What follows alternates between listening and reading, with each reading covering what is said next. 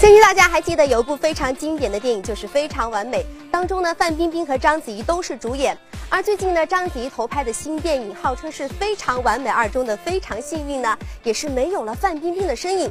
加上呢，范爷最近呢又有自己的新片上映，他们两个人之间的一些矛盾之说呢，也是扑朔迷离，这就不得不让人猜测，这两个人难道是冤家路窄吗？电影《一夜惊喜》讲述广告公司的女高管范冰冰在一场生日派对之后，纠结于多个金萌帅哥之间的性感喜剧故事。这和章子怡新片《非常幸运》里苏菲再次游走于爱情游戏的故事非常相近。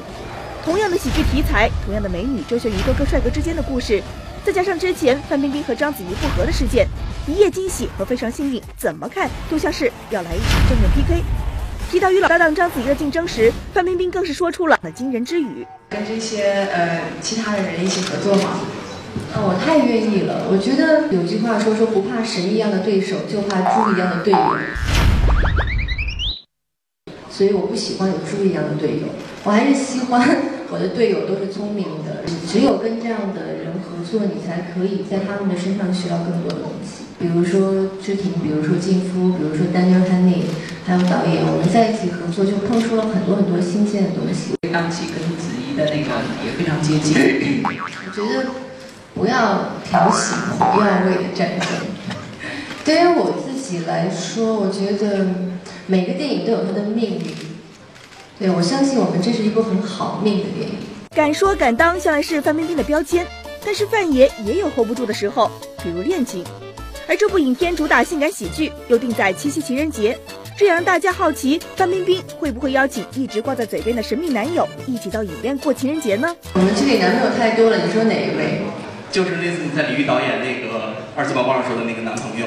哎，这个话题，呃，我请导演的男朋友去看，在你的身后。那会不会叫自己自己口中说的那个男朋友一起去看呢？嗯，悬念吧。虽然对于男朋友依旧保持神秘，但是对于影片中两位新合作的男搭档，范冰冰却丝毫不掩盖对他们的喜爱。看着蒋劲夫为了得到自己的欢心，猛做俯卧撑，范爷索性一屁股坐了下去，还一不小心暴露了自己的小秘密。轻松，没有什么重量的，就我最近自己有点。你确定吗？我真的是演艺圈为数不多有点重量的女演员，重量级的。那也是重在该重的地方，所以挺好的。我觉得，我觉得我是得便宜了。看来范冰冰的心态是蛮豁达、蛮轻松的。